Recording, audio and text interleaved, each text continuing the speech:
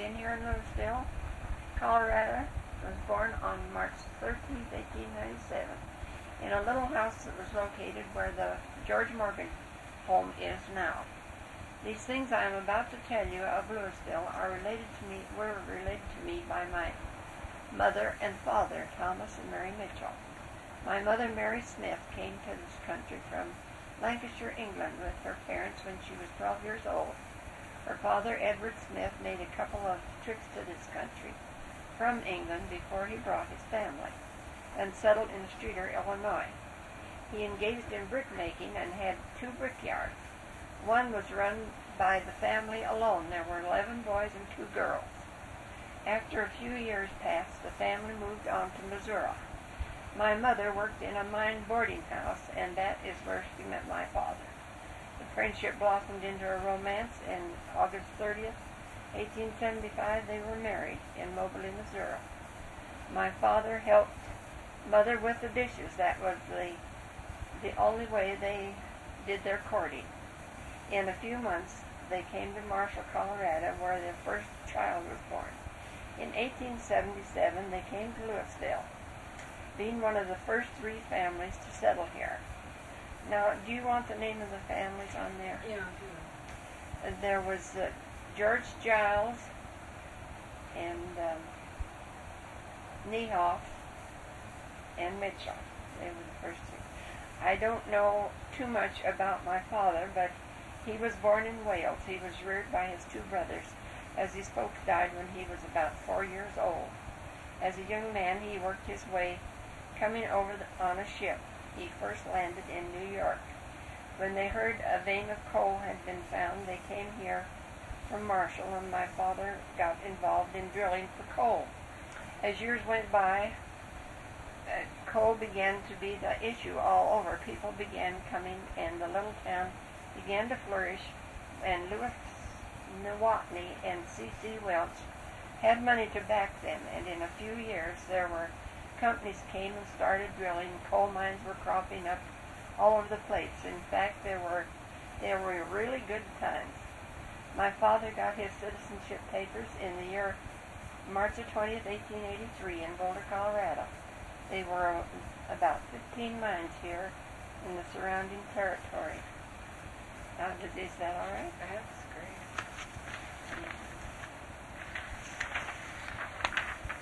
Uh, so goes. The settlement was started on one street called First Street, and now it's Front Street.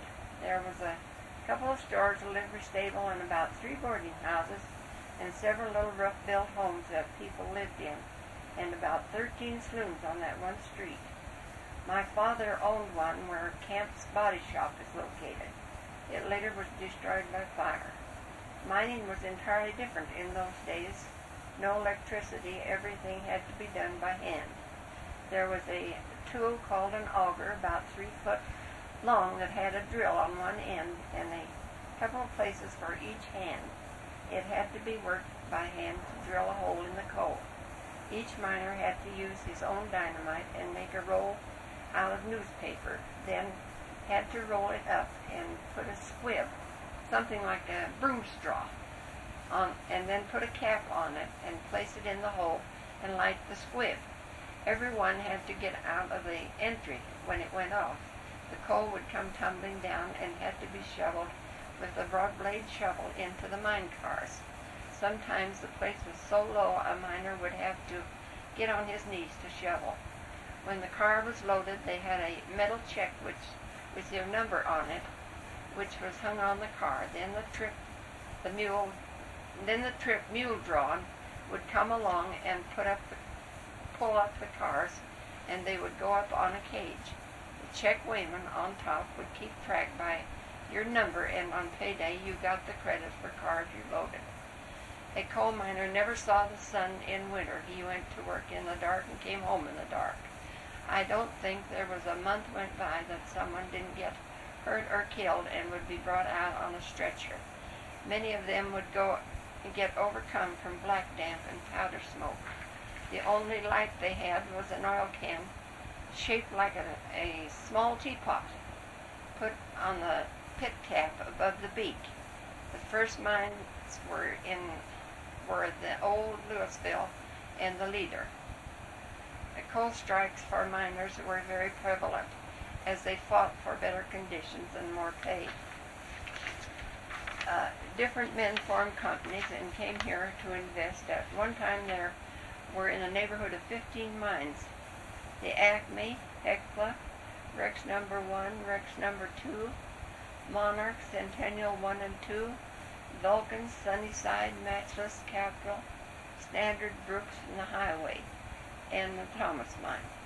The big companies were Rocky Mountain Fuel and National Fuel, Nisbet and Peltier in the Boulder Valley, and a few smaller companies. Payday was every other Saturday, and boy did they ever celebrate. The women weren't allowed in the saloons in 1910. There was a whopper of a coal strike. It lasted five years, and all the support, such as it was, came from the United Mine Workers. How well I remember money came in every Saturday and would be given out. The man of the family got three dollars a week, the woman a dollar and a half, and each child seventy-five cents. Of course, people in those days were very conservative. They had to be. There was very little entertainment. Folks had to make it themselves by having dances and picnics along the creek on the Mayhoffer farm, which had a grove of trees, and the old rock house by Hubert Wanberg's had a, had a big, big park down there. Of course, everybody walked and took a basket full of food and kegs of beer. There wasn't a doctor to be had or a mortician. My mother was a pretty good one, and she would always go and do all she could with, with home remedies. If anyone passed away, they were never embalmed. They like they are today. The, the men would make a trough out of wood slabs and put the body in it and pack ice around it. No doctor until Dr. Wolfer came to Louisville. And then Burns and Dr. Solon. And later on we had six. We had Wolfer and Crannell, Dr. Castish, Wordferger, Snare, and Miller. Some of them were mine doctors. And whoever wanted three dollars kept from their pay each month could pay the doctor their choice. The first school was two rooms in a building where the trophy shop is. Then the growth was getting larger, so there was a two-story building put up, four rooms, two up and two down, at the corner of what is now Spruce and Jefferson. Then in 1903, four more rooms were built on, and the whole ten grades were in it first and second grades being in the Little Red Brick, which is now the recreation building. When the four rooms were built, that was the activity place of the town. They held dances, box socials, and ice cream socials, and parties of all description. Uh, The town kept getting larger and extending west. Then there was two streets. Second Street was what is now our main street, and business was getting better all the time. There were grocery stores, drug stores, small restaurants, and later uh, two movie houses, the Rex and the Isis, were going strong and should pic- showed pictures every night, sometimes vaudeville shows. Tom Metz and Ott Todd were the owners. Every Thursday night was ladies' night, and they gave a dish to all the ladies, cup, saucer, plate, whichever you wanted. In fact, I have a set of the cups and saucers today. Finally, Louisville was incorporated in 1882. We had a Red Men's Hall, two stories, had large rooms up, lodge rooms upstairs, and a banquet room. It was made of red brick, and the bricks were made on the site of the Catholic Church. It was located where the Sisters Convent is located.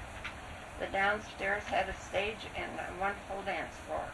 Some of the good shows that were held in Denver used to come, and the hall would be packed. Dances were held every two weeks. That was payday for the miners. Everybody in town would be there. A good orchestra from Denver was always hired, and the dance would go on from 9 p.m. until 2. And then we would pass the hat for more money to go on until maybe around 4 or 5. Or maybe go to a hoedown where, uh, oh, down at Jervis's barn and come home at 6 a.m. Boy, those were never forgotten days. We have had a lot of tragic things happen in our little town, but we all stuck together and helped to work things out. If the old pioneers could come back today, they would be amazed to see what a beautiful community has been born through all their hardships and perseverance. My father, Tom Mitchell, was the first policeman and the first fire chief. A hand pumper and bucket brigade was all they had to fight against fires. Water was a big problem. The ditch, now known as Mayhoffers, runs straight down to First Street, front, that's Front Street, along the back of Steinbaugh's store into the creek. Everyone had a rain barrel catch water when it would rain. Drinking water had to be boiled and the ditch water used to wash clothes and so forth. Transportation was a big problem. If anyone wanted to go to Denver, they would have to ride in the caboose on the bobtail freight that took the coal cars to, that took the coal cars loaded to Denver. Then it finally had one passenger coach attached to it.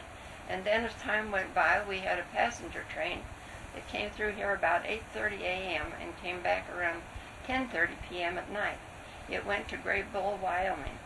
Then about 1907, the Denver Interurban put on trolley cars run by electricity and transportation was wonderful. They run every couple of hours and passed at the depot here. One would go to Boulder and one to Denver. There was a junction by the Monarch mine and the cars passed there, one going to Eldorado and the other one to Boulder by way of Marshall. The cars were run on electric trolleys. Then in 1926, automobiles were coming in fast. The need for the Denver Interurban fell off and they were taken off and the company dissolved. And since that time, we have had very poor ways to, to travel. Okay, now I was I'm interested in um, this Front Street having been called First Street. Now, Uh-huh. was that ever called Main Street? No, That was never Uh-uh. Main Street. I don't, not to my knowing. Well, okay. There were just the two streets. And then uh, this house up here of, uh, oh, where Beveridge's house, you wouldn't know it as Beveridge's house, I guess. But across from where, you know where Mrs. Rhodes lives. yes. Well, that house across on the corner where the minister lives, it used to be Yeah. the Methodist minister. That was way out in the country. Oh. And that was the only house there was up in here. Oh. And I've heard Mother tell uh, people by the name of Fishback built that house and lived there. Hmm. So was it a farm? It was sort of a farm, yeah. and it was only the uh, it was the only home up here, the only house. It was like going out into the country. Well, okay, you know, I had said that uh, on that old picture that you ran across, you know, and I put that in the paper, and the, on there it's called Main Street, and I knew second Main Street had been Second Street Mhm, at one time, but uh, I was, I don't know, of course, who Well, wrote I don't know who wrote that on that No. paper. Somebody wrote that on there. I don't know who it was. But that was definitely Front Street, Uh-huh, or yeah. probably First Street in Mhm. those days. Do you have any idea when they stopped calling them First and Second Street?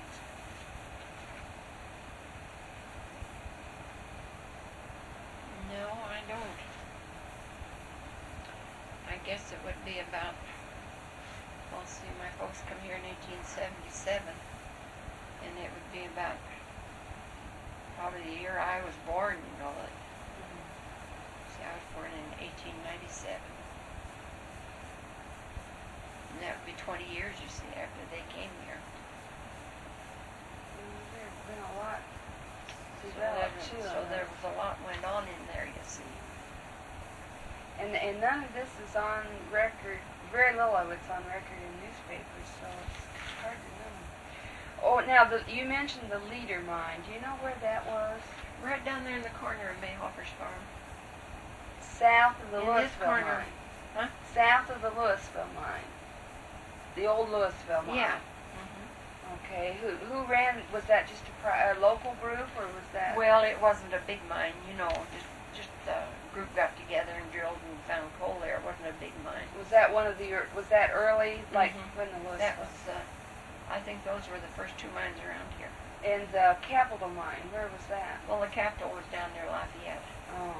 The, that's not. It wasn't a very old mine. The Thomases used to run that, you know. And Charlie Liley was was a, a good investor in that mine because he was a he was a leader of it, and he was married to the Zarina girl, Rose Zarina. Yeah. Okay. You, um, And then Thomas's was up here, you know. yes. You know where the Thomas mine was? No. Well, it was the same company that, that run that. Uh, that, but it wasn't the matchless. It was a different mine. No, no, the matchless is over this way. It's over, uh, you know where the New Baptist Church is? Yeah. Well, you go up that road up the end here and turn and go up that road that brings you out into the Wood Brothers homes up there. And you can see where that mine was. It was right up there in those. Oh, okay. Well, I guess I thought maybe that was the matchless mine. Cause No, I, the matchless is right up here, you know. it's quite a dump there. Right up here. You, there's two separate dumps. There's no dump left up at the Thomas mine. oh, just not too big a one, you Yeah. know. But you can tell. Of course, I knew where the mine was, and that's why. I, but it's right there. You can't miss it seeing it. You'd know where that a mine had been there, you know. Yeah. Yeah, I can. I know what you're talking about. I Mhm. remember seeing that. But I didn't. And then the matchless was just more west. Yeah, the of match is more right straight west here. No, but the Thomas mine was never called anything but Thomas mine. Thomas Mine is what it's called. Okay. And it was the same company, old Nick Thomas and, and these boys and Charlie Liley and and then uh, in the sunny side over there, my dad helped to drill that mine. That's oh, below the track where, where the Monarch is, you know. Yeah. You know them dumps out there. Yes. Well, that's Sunnyside, and they call also called it the Big Six. Well, there was quite a company of them. There was George Dalby and Ed Carvette and, and Charlie Liley and oh my dad. And there was quite a bunch in that company that drilled that. But they used to take quite a little coal out of there. Okay. Well, oh, or, now, now there wasn't a town at Sunnyside then, was there? No, and that that Sunnyside, my dad was working there uh, when I was married. And that was in 1915. Well, now would these people then would not have been involved with the unions? This was uh, an No. independent. Uh huh. Yeah. Okay. I got my dad's old union card. He he joined the union over Erie. You see, Erie was the first coal mine camp around here. Well, then they were able to give um, work to the miners who Yeah. didn't get to work in the union as long as they could hire. That's uh, no matter when they had a strike for for something, you know, there'd always be outsiders come in and scab they used to call them, you know. Mm-hmm. And the, uh, that place over there at the Hecla mine, they had quite a camp over there. You know, and they had the fence all wired with electricity. You couldn't climb over the fence or nothing. And the, the guards used to bring the kids here to school. Mm. Uh, if they hadn't why, there was always fight after fight, you know, with kids. You know how kids are. The guards would come and get them when it was time for them to go home and bring them to school. And then they had a, a searchlight on a tripod over there. It's in that picture. You can see it. But it don't show the, the tripod pod that had the machine gun on it. But it been on up to over east a little bit, Uh-huh, just out of yeah. the picture. Uh-huh. And that's when it shot down here in the town, you know. There's bullet holes in some of them houses down there with the track. Oh, are there? Yeah, know, there was a couple of bullet holes in the house that Leonard lived in down there. They've probably been covered up with siding up Oh, there. probably has now. Well, now did the bullets come into Main Street? Oh yeah, On they were showering all over here. But nobody was hurt here, were they? No, there was nobody got shot or anything. Do you think they shot high to avoid that, or was that just the way it was? Just the people weren't. Well, I don't know. The men all they have twin ditches. You know that ditch that runs by that farm over there where um, Munsies live. Mm, mhm. Well, there's twin ditches there. There was two ditches, and that's where the Union men were in those ditches. See, and the, they they got word what was going to happen, so they were all armed and went over into those ditches. How many days was this? Were they involved in that kind of activity? Was that a, a year, or a couple of weeks, or just a couple of days? Oh, or- for five years. they did that all the time, off and on. Mm-hmm. And then So then what actually prompted the militia to come? Well, it was the, the disturbance that was going on. But why? But the mili- militia was only here about a week, and it rained all the time they were here. And oh, they were a dirty bunch of people. You know, I think there'd been a lot of fights, and it hadn't been such bad weather. And then they took them out, and they sent the Federals in. You know. But what was there any actual activity that prompted them to come at that particular time? Well, that's when they had that shooting. Uh, and they got they got off the. Everybody was down at the depot, you know, to welcome them coming in. How did know. they know they were coming? The militia. Well, oh, well, you know, circulates Tell around. And uh, they, the train stopped up there on Murphy's Hill, and they all got out and lined up along the hill and started shooting down into the crowd. And boy, you ought to seen the people scatter. Oh, it was running every direction. well, why did they do that? I don't That's, suppose that's anybody just the ever tactics they pulled, you know. They weren't for the Union people at all. Oh, I guess not. Uh, they fought against it. But when the Federals came in, where we had the band down there and everything, we had a big time. You know, we used to have a pretty good band here in town. Oh. I know. Yeah. Uh-huh. We've got The Jaco brothers and um, uh, and they took photographs. and uh, what was that guy's name? Al Filashoni. They they were the leaders of it, and they really had a good band. And they They- went out to meet him. Mm-hmm. Well, how how long were were the federal troops here then? Well, they were here quite a while. For they were camp. Do you know how many? Well, there was a whole regiment of them.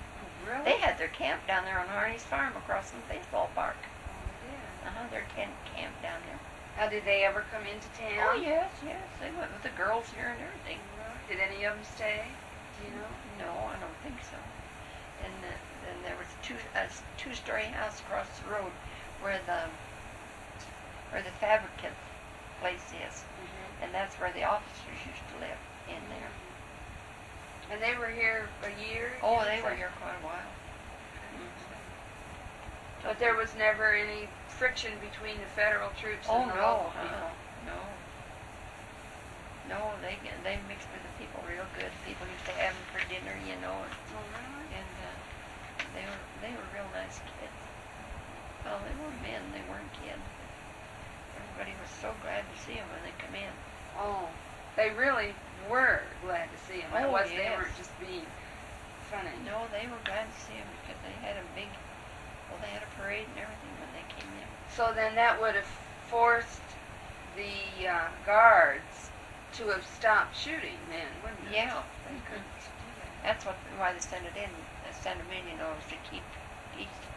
Now, did they go into Lafayette also, or was there Yes, still? they had some down in Lafayette too. But now, was this 1914 when they came, or did they come sooner than that? Well, they came before that. It was in about 1912, I say.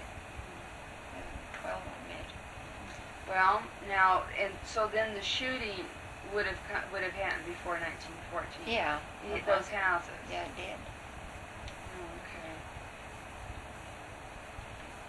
But it, st- it had still took three years to get the strike settled. It was still into 1915 before the strike was It ever took settled. five years, yeah.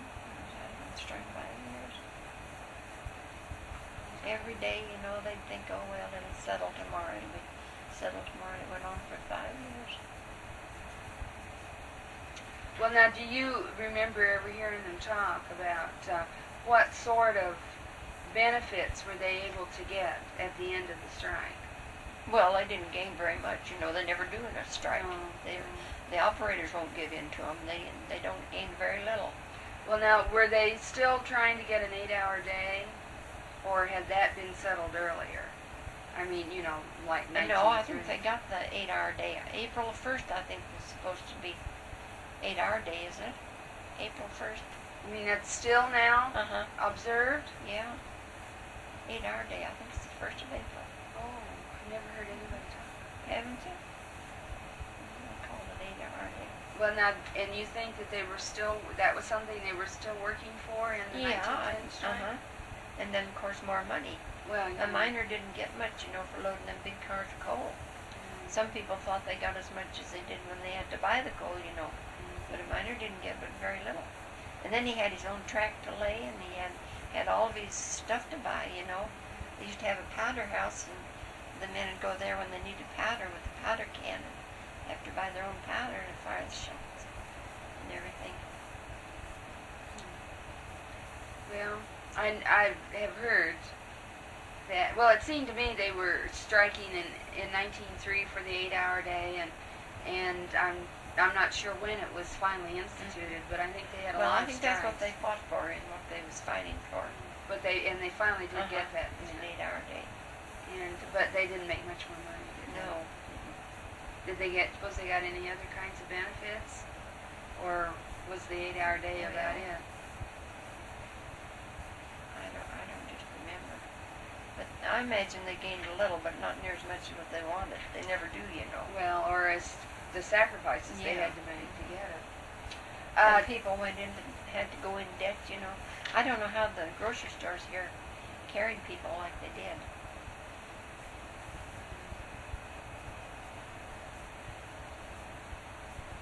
Well, they had a um, union store also. Do you remember? Yeah, that? my brother-in-law ran that for a while. It, it was run on a non-profit basis, you know. They got the stuff, but they, they didn't charge any more than what they paid for it. Do you remember what years that was running?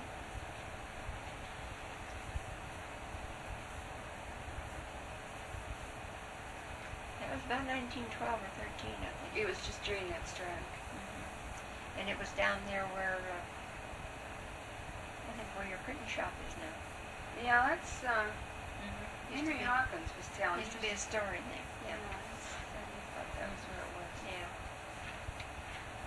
Well, my brother-in-law it for a while. Oh. Margie, Margie McNally's father. Margie Stephen. Marjorie. How's he your brother-in-law? Hmm? How is he your brother-in-law? How are you related? Marjorie's my niece. Yeah, well, I My sister's daughter. Oh, your sister was. My sister's husband ran it. Oh. Joe Stevens. Oh. Well, now is oh, and now, now this wasn't the there. It was Tom Stevens who was killed. This yeah, was well, brother. that was his son. son. Oh. Yeah. Was killed in the Monarch. That would have been Marge's brother, Mm-hmm. older Yeah. brother, an older brother. Lucky there was only one. There was three of them worked over there, you know. But they worked on different shifts. Yeah. As you say, though, I think there were an awful lot of people hurt. Oh, yeah. mhm, There was. I don't know how anybody would have gotten used to it, but I suppose they had to. Well, you kind of expected it, you know. Why, do you remember who owned the Rock House? You said that you went out there to picnics. Do you remember who lived there? I don't know who owned it then, but George Codbury used to own it. And he was a mining man. Did he own a large area of land out there? Yeah. Because that there's that lake out there I just saw is Cadre Lake. Yeah. So he must have owned it. Yeah, he owned quite a bit of ground in there. I wish uh, um, we could do something to restore that house. It's a shame to let it go to ruin like that, isn't it? Yes, it is. I don't know what it could be. Uh, what are they doing about the old elevator down here? I don't know. Um, I suppose the urban renewal made them no, that. I don't think so. I think Charlie's just doing that on his own. But I don't know what they're going to use it for. That would make a nice museum, wouldn't it? Well, it, a lot, there could be a lot of nice things. But I guess there's a lot of machinery in there yet, you know. Like, Well, that could be cleaned out.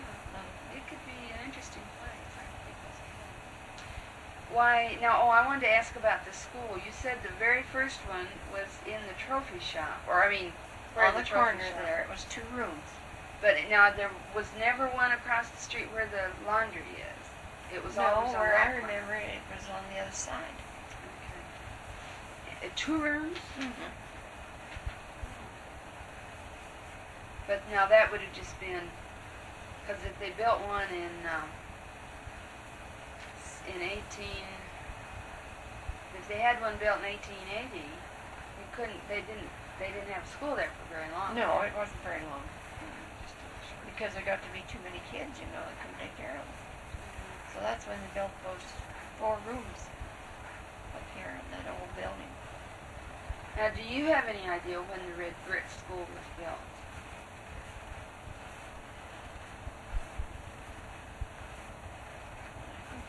I'd earlier.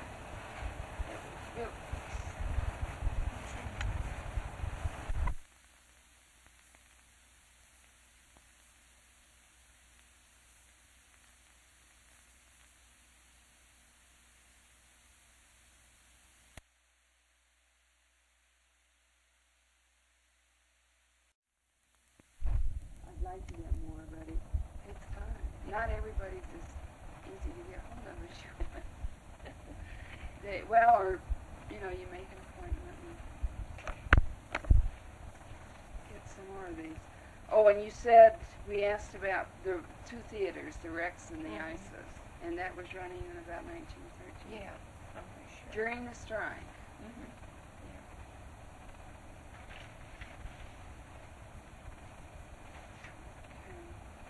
Now, the um, dances at Red Men's Hall, uh, what were the years? When was that building built? What was the year that was built? We, we probably have that. I think you have it. But, uh, so the dances then all through that period. I'll tell you, it's in the, it's in the, it's in the paper.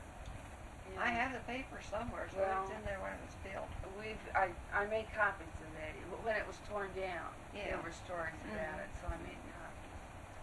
Uh-huh. So, uh,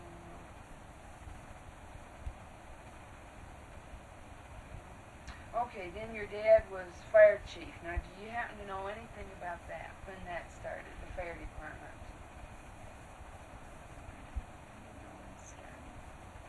See, Billy Austin belonged to the firemen too.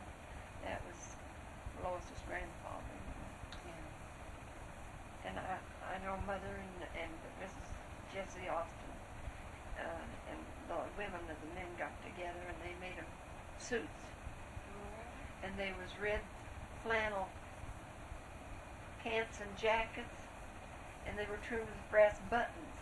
I've got some of the buttons around here yet. If I can, they're downstairs in some of that junk, I guess. Really? Uh huh.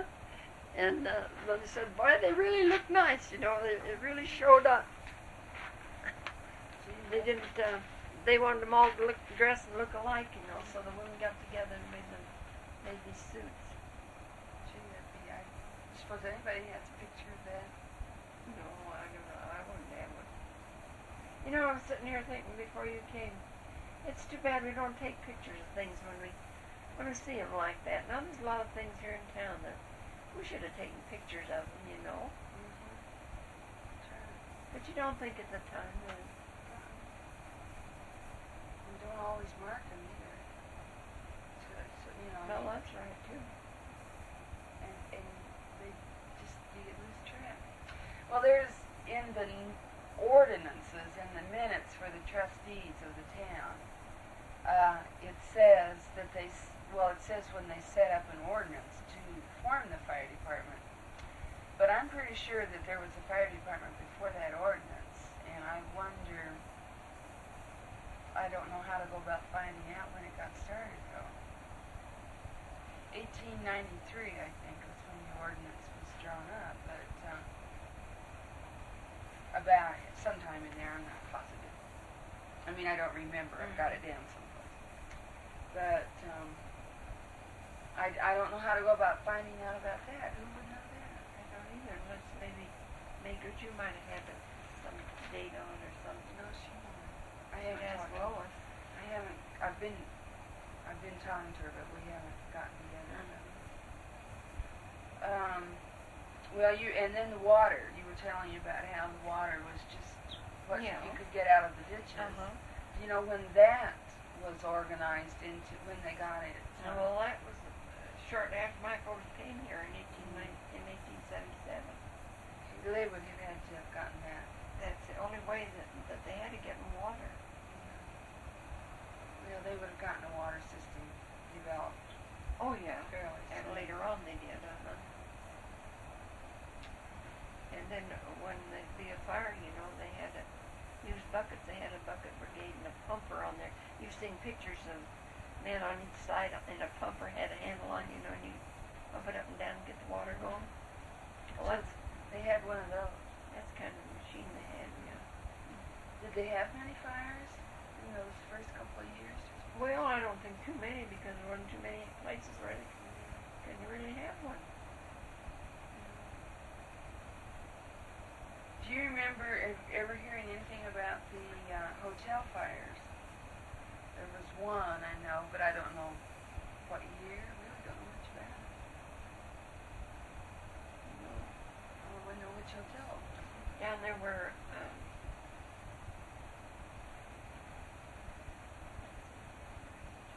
down there across from is on that lot there that's. That used to be a boarding house there. Two story. Old lady Feenan run. And then on the other corner, where Thomas's store is, there was a big one there, and that was old lady Ains's. That was two-story. And then down the street where my where Chavis lives, that was a boarding house, two stories. And Mrs. Lemon run that. Where was where did the Wilsons have a boarding house? Did you ever hear that? Well, now Sixty-six Station down there is the building that was moved down there from up where Jensen's canteen is. And it used to be a boarding house. Mm-hmm. The, the, where the building, or that building was a boarding house, where where the sixty-six Station is. Mm. Yeah, and they remodeled it, you know. They, mm. they used to have be two stories and had two windows in the front mm-hmm. upstairs. Well, they remodeled all of that, but that that was moved down from up there where Jensen's store is, and it used to be a boarding house up there. I was trying to find out what happened to the boarding house out at the Hecla, and I had heard it had burned down, and then somebody said no, it was moved there to the corner of, of Phillips 66. And then they called back and said no, that that was wrong, Mm-mm. and but it had been moved in from someplace, hadn't it? Uh-huh. That building. But it used to be right there where Jensen's store is. But now the boarding house out at Hecla did burn down. Yeah, I think it did. you know? And and that where Foster's lived was a canteen over there. You know, Yeah. like a pool hall, Yeah, casino. casino. Yeah. Yeah, I'd, um, I'd heard that. Well, now, do you have any idea of all when that brick building was torn down there on that corner? I think it has to. No, when it was torn down. It used to be the old brick store, they used to call it, used to be a grocery store in there.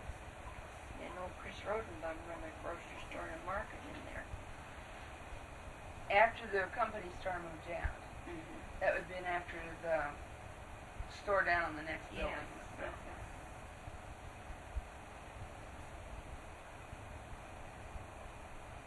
Well, it was, it was in the process of being torn down when, when, uh, Marie,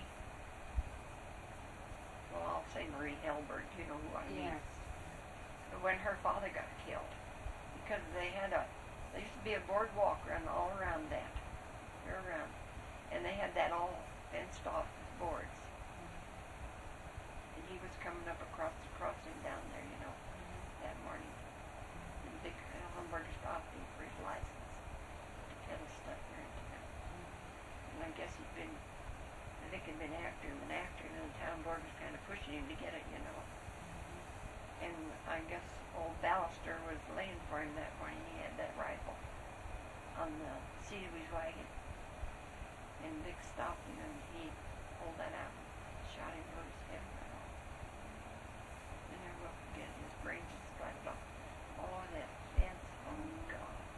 And you know he run up he he got he was in the wagon, you know, when he when he hit him and he uh, beat the horse to death to get up to the other corner and turned, and Mary Carvel was living in that house where Mrs. Rhodes lives. And he turned there to go out to the Monarch Mine, you know. Well, Joe Schrockman was coming up the street, and he run in there, and he says, Mary, have you got a gun? Have you got a gun? Give me a gun. Well, she didn't know what, was, what he wanted for, you know. So she said, yes, I got a gun, but what do you want a gun for? Well, by that time, he was gone, or Joe Schrockman could have killed him. Uh, but she wasn't. Uh, But she didn't know what he wanted the gun for, you know. and he never was found, was he? No. He went over there to that old Beast Chaucer's over there and he hid him, you know, until it, and then he got down there with them North Denver Wops and they got him out of the country.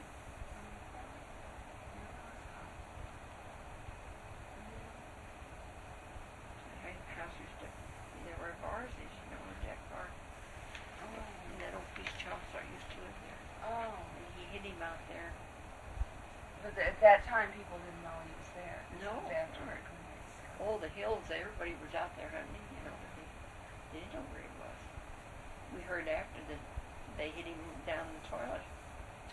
took the seat off the toilet and pushed him down there, oh. lot around the edge, you know, where the dirt was. Laid on there until it got dark, and then they got him out there. But I've heard in not too long ago where he died, Oh, someplace in Canada. Oh, really? Sake. Hmm. Well, I don't suppose that'll. I don't suppose that's something though that anybody else. Unless Marie might know something about it, and maybe you could talk to her about it and see. She never was on. Don't see. And uh, I sure left her mother in a bad fix, so you know she had six children. And then one of her brothers. Yeah, yeah. Now, when that happened, that brick store was still standing though. Yeah. Mhm. It was condemned, you know, and it was going to be torn down because they had that wooden fence all around it. They wouldn't let anybody walk on that sidewalk. And it was a board walk. And there was a ditch run along below it because it's kind of built up off the edge of the ditch. That. Uh, I. Well, that was in the minutes too. They had a meeting, special meeting that night after that happened. Mhm. And um, so we had, we, I had Yeah. that day. Yeah, that was terrible. Well, there's been lots of tragedies happening in this old town. Well, there have. They, Think they, about it, and, and there used to be a family lived down there in the house next to Katie Smith's down there. Their name was Perna, P-E-R-N-A. And he stabbed his wife in the back with a knife pick. And I was just a kid, you know, but I, I sure can remember the ambulance coming there and getting her and taking her away. But she died before they could help her. And they hunted this town. My brother-in-law, Marge's dad, was a cop here then, and he they scoured this town over for that guy. And they they never did find him. And here, do you know where he was hiding? Up there in the old brick building where they used to have the dances. Used to be some wooden steps at the back where you'd go up a, a stairway at the back to go into the dining room. You know. And he hid under there. well, and what did his children do? They Huh? just, his children were just abandoned then, or? The- Oh yeah, they had. I think they had about three children. I don't know whatever become of them. But he got into an argument with her. I guess he'd been downtown drinking her, and he stabbed her with his ice pick. Stabbed her in the back. In later years, they found him though. They sent him to the pen. I, th- I think that he died in the pen.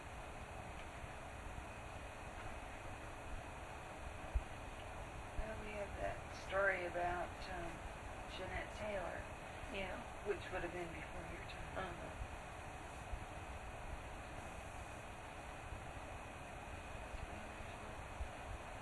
I've heard Mom talk about that.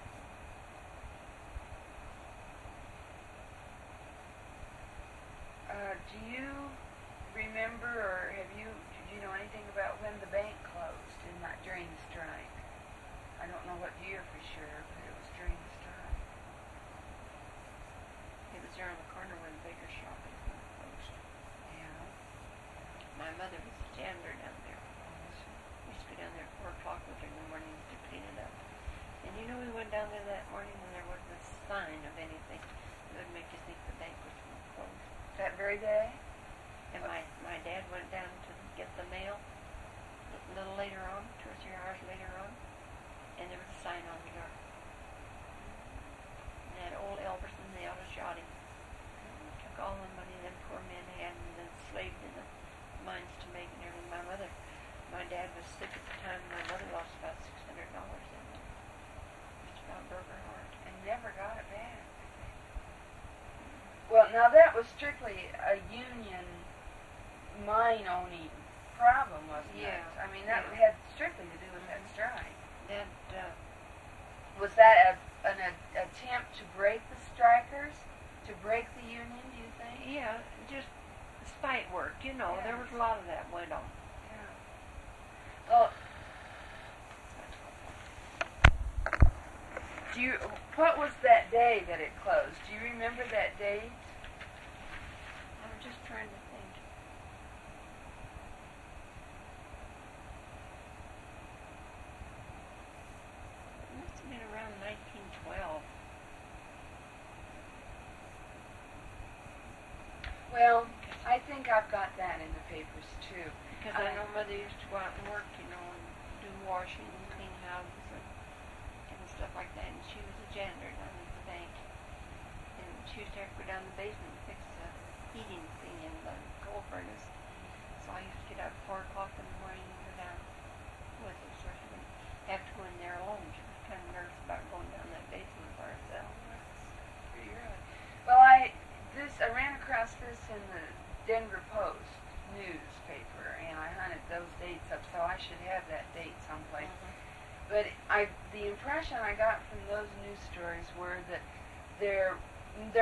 there might have been as much as a hundred thousand dollars of union money that was in there, so that they could then operate a mine to put the union men to work, mm-hmm. and that the, I guess then if they closed the bank, why then they wouldn't get their money. But I Oh. think the union was able to get the Louisville money out first. No doubt there, everybody had a little money in there, you know.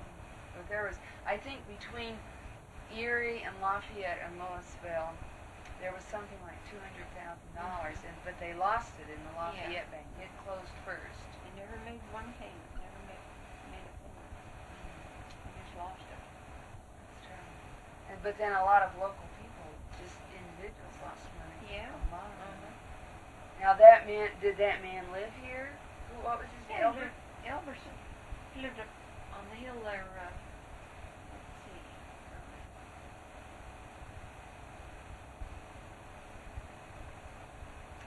Well, up there along by, uh, I think he lived up there in that house where, uh, uh, Jim Ferrari lived. Up in that neighborhood there.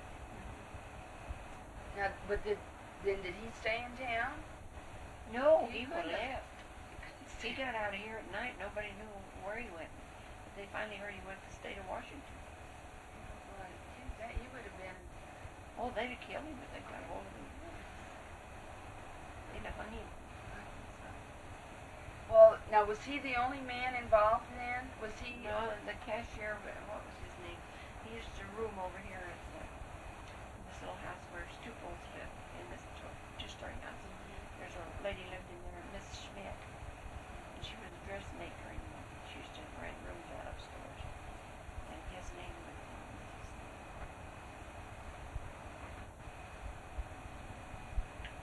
I can see him now. He was a tall, thin, light-complected fellow. Stark, I think, was his last name.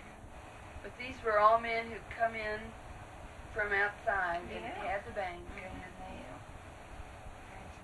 Now, had they? When did the bank start? Do you have any idea? Oh, it started before the strike. Well, before the strike. What, isn't there a date on that building down there? Well, but I think that building was there before then. I don't think the the date on the building. I don't think has anything to do with the bank. I think there was um, there was a drugstore there. Well, yeah, but it was a wooden building. Wood. Do you think it, that wooden building was torn down and they put up the bank? I can't. I have never been able to find anybody who could Pretty tell me that. That it's an entirely different building, but I mean, the windows and the doors are different. Yeah. But you know, you can. Nobody can remember when it was torn down and this was put up.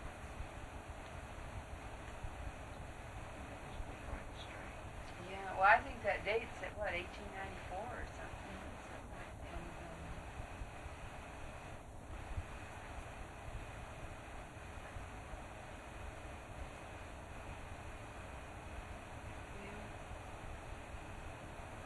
I know then the the company, the bank then reopened. I mean, a new bank was formed Yeah. and uh, opened up in another Yeah. place. They didn't go back to that building. No. And after that, then I have well, I forget what all it was. Uh, post office, I know. Oh, yeah. Did it become a post office then right after it was a bank? And that already used to have law office in the back part there.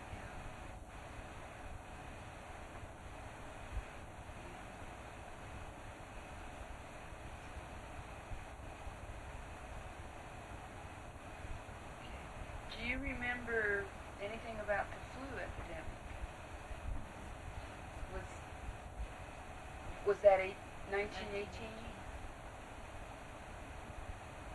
was here in Leonard was born. The doctor was afraid I'd get it.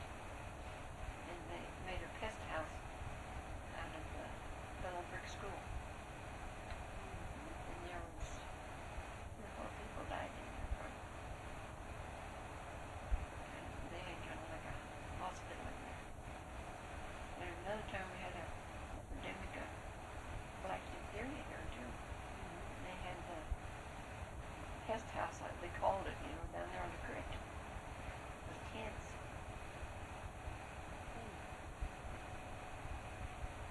Well, I, now out of the town minutes, there was something. I have, I can figure out when that would have been according to the minutes of the trustees. But um, they just sort of vaguely refer to these things, and you're not really sure. You know, like Yeah. Well, I'm not too sure they give a specific date either, you know. You can remember how long ago it was and when it should have been, but if you're right on the one, it's doubtful. yeah. Uh, now this has been down on Coal Creek. Yeah, down, right down there past Bella Vista. Oh. Where Oh, right straight south of Bella Vista. on the creek. Now, by 1918, when the flu passed house was held at the brick school, then the school had closed. That was no longer being used Oh, no, as a school. no. Um, You know, when the high school used to be over here, that used to be the main, main training shop yeah, I've got a picture of that. Now, this the the the house, house where the Jenkins house on Grand Street that was never used as a hospital for the flu. No, that was the hospital earlier? and that was later, I think. Later? Well, no. No, it was earlier. Earlier, Earlier, yeah. Earlier. But that was not. That wasn't connected with the flu. Mm-mm. Because Leonard was born in 1918, and that was the year the flu was that? bad. Well, let's see. There, one of the doctors out in a picture in front of that is Dr. Szymanski. Yeah, I know. You remember him? You? Remember when he was here? Yeah, I remember when he was here. What? What? He used to have a. I was just a kid, and he and my sister lived next door, you know. And the, and he used to have upstairs. There's two, a couple of three rooms, and he used to have a X-ray machine up there. And us kids used to go upstairs there and look at it, you know. And it it, it was just like a great big square box, sitting on a table of some kind, you know. And it had a great big wheel in the front of it. We remember. I remember. But just being a kid, you know, it was quite a curiosity. Oh, yes. And it was really an X-ray. Yeah. Really? Uh-huh. Well, now do you? Can you And put one it? of those nurses is Jenny Moffat, but I don't know which one. Um,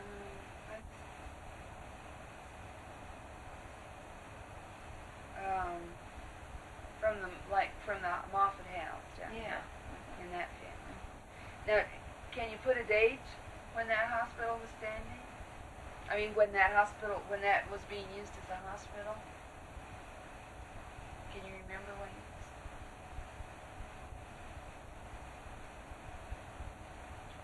Oh, gee, it must have been in the 1903 or somewhere. Because I know I was just a little kid, you know, and I used to go to my sister's. and We'd go up there and that doctor would show us things, you know. Was it used for that very long? Do you think? not too long. And then one time, they had so many kids in the school down there, you know, it went up to the 12th grade. Mm-hmm. They had so many kids down there, they had two classes of school in there one time.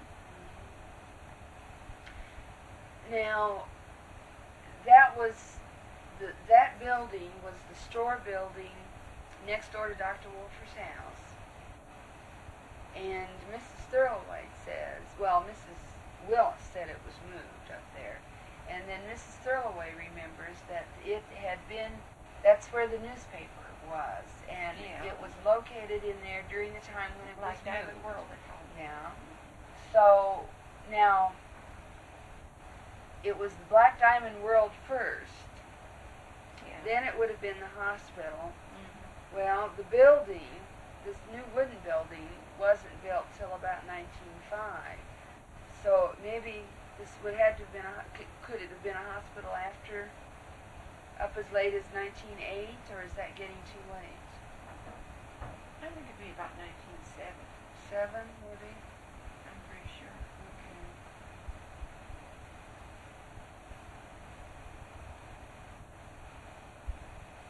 I don't know how important it is to get a date on there, but we need to try if we can. Those they had long dresses, and that seems Yeah. late for all those really long dresses. But uh, I know the paper was there for a while too. Yeah. First, Mhm. and then it was made into a hospital, and then into a school after that. Yeah. You said along about 1912. Yeah.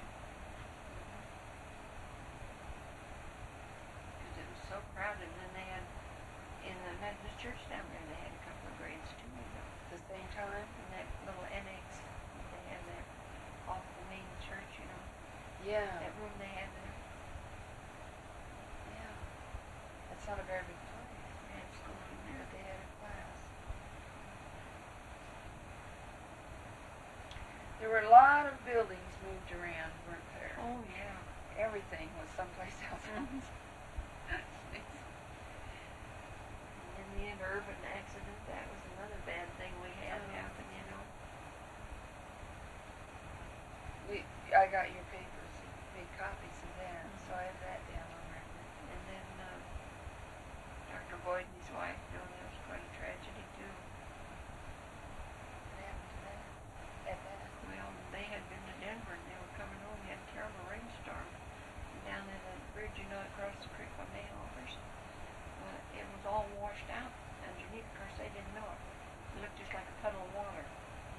Drove through that of water and it, was all washed out. And she drowned. And he, it knocked him out, and how he ever got out, nobody knows. But he got out and managed to come to town, his office was down there in Mrs. Kansas house, you know. That's where he lived. And, uh, they went down and got her and tried to get her, well, they did get her out. Now, was this out of a car, out of an automobile? Mhm. What year was that? It was about nineteen, nineteen thirty-eight or thirty-nine, wasn't? That was big. That must have been a. That was a lot of rain. That would have been a. Oh, yeah, it was come down the creek, you know. It was a flash flood is what it was. And you see it washed the pavement out there, but of course, he just thought it was a mud puddle, a puddle of water, you know. Drove into it and they went right down. And of course, being in the car, he managed to get out, but he couldn't get her out. See, it kind of knocked him out, I guess. It's a bit- Well, then did he stay around? Yeah, he very was, long. He was here for a while after that. And then he went up to. Greeley. He got married